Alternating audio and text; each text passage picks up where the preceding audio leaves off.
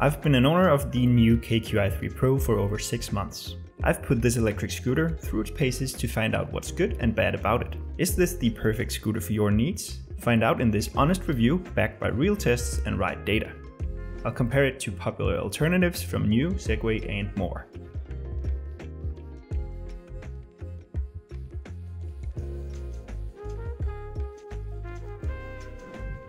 Okay, let's start with a quick overview. The KQi3 Pro is a mid-ground between the Sport and Max models. It's intended as a city commuter with a balance between performance, comfort and reliability. It packs a 350 watt motor, a 486.7 watt hours battery, tubeless pneumatic tires and dual disc and regen braking. It weighs just shy of 45 pounds and has a capacity of 265 pounds. And lastly, it has an IP54 weather resistance rating. NIU advertises a top speed of 20 miles per hour and up to 31 miles of range.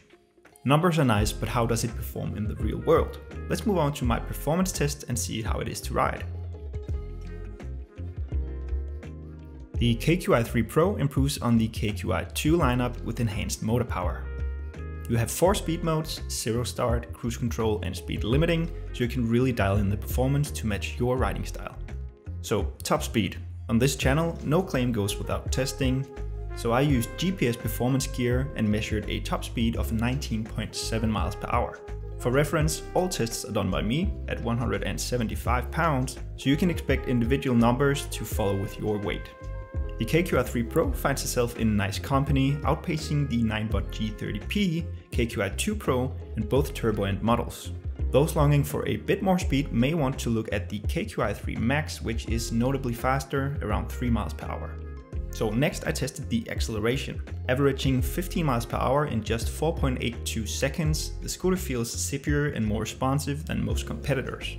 The reason it's so much faster off the line is that NIU uses 48 volt batteries as opposed to 36 volts in most competitors. This means the motor can draw more power at once. Another thing I really love about the 48 volts battery is that it holds its performance much longer into the charge. Whereas 36 volt scooters start to get sluggish below 50% charge, this scooter keeps its sing until you're very far into the battery cycle. I really felt the difference when swapping out the G30P for this scooter on my daily commute. So how does the KQi3 Pro handle hills? I tested it on a 250 foot incline with an average grade of 8%. I completed this climb in 24.4 seconds, which is much better than the KQi2 Pro and Segway G30P. I also tested it on the steepest hill in my city, which peaks at 17% and the KQi3 Pro just barely made it to the top. I'd say that 17% is indeed the max climbing angle. The KQi3 Max is much better on hills though, so it may be a better pick if you have steep hills on your commute. Alternately, you can also consider the Fluid Horizon or Mosquito, but they aren't as well designed in my opinion. All in all, solid motor performance. The KQi3 Pro benefits from its 48 volt setup and is one of the zippier commuting options in its class. For most riders who don't have to battle steep hills, it's more than enough and the performance retention is just great. The NIU KQi3 Pro has 486.7 watt hours of battery capacity. They advertise a max range of 31 miles, but if you're familiar with the industry, you'll know that you typically get 60 to 80% of that in the real world. As far as capacity goes, it's a big step up from the KQi2 Pro, but it's still behind the KQi3 Max and Ninebot G30P. Capacity is one thing, but how does it perform in the real world? I ran three range tests at varying speeds to understand just how far this scooter will go. In the first test I went full throttle, this got me 17.9 miles of range. In test 2, which is medium speed, I got 23.5 miles, and with conservative riding in test 3, I got 26.9 miles on a single charge. Honestly, I'm quite impressed. Now I did the exact same range tests on the competitors. This scooter can't quite keep up with the G30P or KQi3 Max, but it's a big step up from the KQi2 Pro and TurboAnt X7 Max. Interestingly, it's on par and sometimes better than the TurboAnt V8 despite having a smaller battery. This just goes to show that capacity alone isn't everything, ride efficiency matters. All in all, the battery performance is solid. The fact that this scooter runs 48 volts makes a world of difference, especially when you get below 30% battery as it'll perform really well until it runs dry. Realistically, most riders can expect 20 to 25 miles, depending on how you ride and your weight. Riders above 220 pounds, expect somewhere between 15 to 20 miles per charge. The KQi3 Pro is incredibly smooth to ride.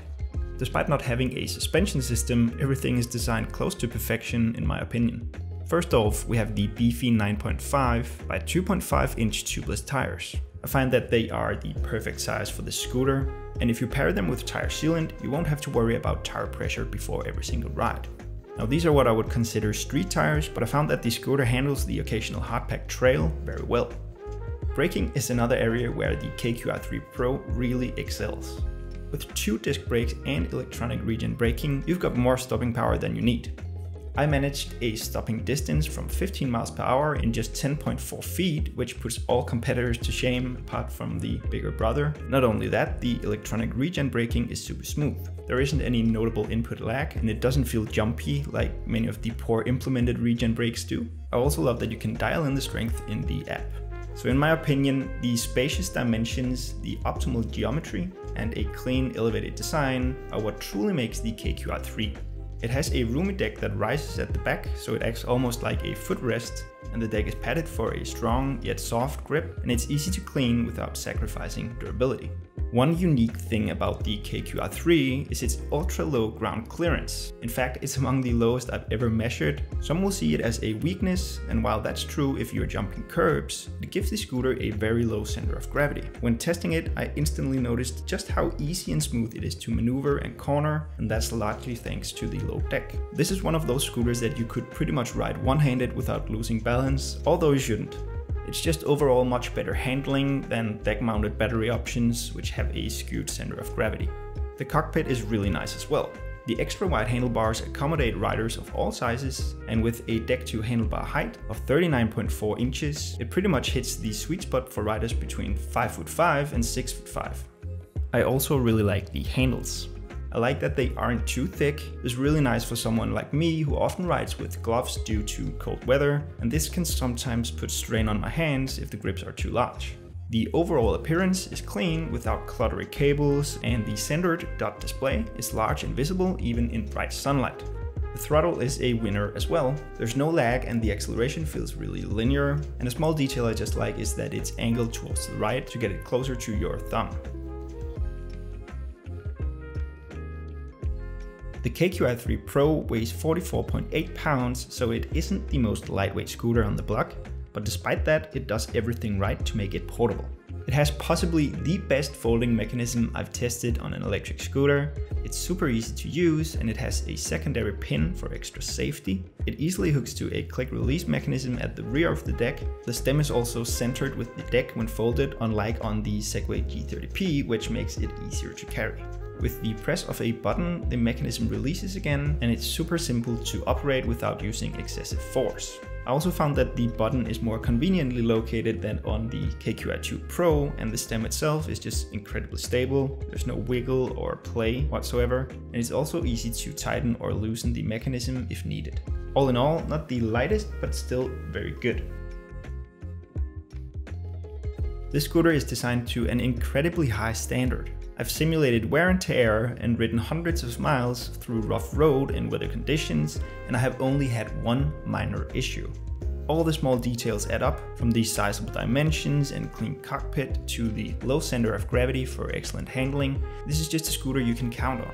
There's a reason NIU backs this scooter with a 265 max load capacity and 2 years of warranty. If it were just a parts spin scooter plagued by issues, they'd be seeing red numbers all over. It's really nice to see a solid metal kickstand for once. It feels anchored in the deck and doesn't have the same loose flimsiness that haunts the entry-level scooter segment. The rear fender light is the only apparent build issue I've come across. It rattles a bit on my scooter, which is annoying, and after doing some research, I found that I'm not the only one who's experienced this. It's more of an annoyance rather than a problem, but it seems to affect some units and there's no clear way to address it. However, the light setup as a whole is pretty good. The high mounted front light is super bright without being intrusive, and you can angle it down to better illuminate the road without blinding other road users. It has reflective stickers on each side of the wheels and three high mounted reflexes. The The taillight is bright as well, but I would have loved to see turn signals, although it looks like we're getting that with the next generation of NIU scooters. All in all, the structural integrity is just really good. I rarely feel as confident and safe on an electric scooter as with the KQi3s, and contrary to many, I really like the app connectivity. It allows for in-depth statistics, a better overview of your battery, and over-the-air firmware updates to improve the ride quality over time. I do agree however that it's a bit annoying that the scooter can't be set up without the app, as some people just want to ride. Still, in that case, it's a 10 set and forget. Overall, incredibly well built. All in all, I can highly recommend the NIU KQi3 Pro, especially if you can catch it on a sale. There's so much done right with this design, and it strikes a good balance between performance, ride quality, and durability. In my opinion, it's an excellent city commuter, high in value, and with two years of warranty, you won't be left behind in six months if you run into any issues. If you're looking for better ride quality, you'll have to pay significantly more for a scooter like the Segway Max G2, so the KQi3 definitely has a warranted place in the market. The only issue I came across was the rattling tail light, and though it's not as light as some alternatives, the folding mechanism is still S tier, making it reasonably portable. That's wrap for this review. If you're considering the KQi3 Pro or any of the other models mentioned, feel free to use our affiliate links in the description. This supports the channel and allows us to buy new scooters to test and review in the future. There are some nice coupons there as well. Drop a comment below on your thoughts about the KQi3 Pro and any scooters you'd like us to review next. Thanks for watching and supporting eRide Hero.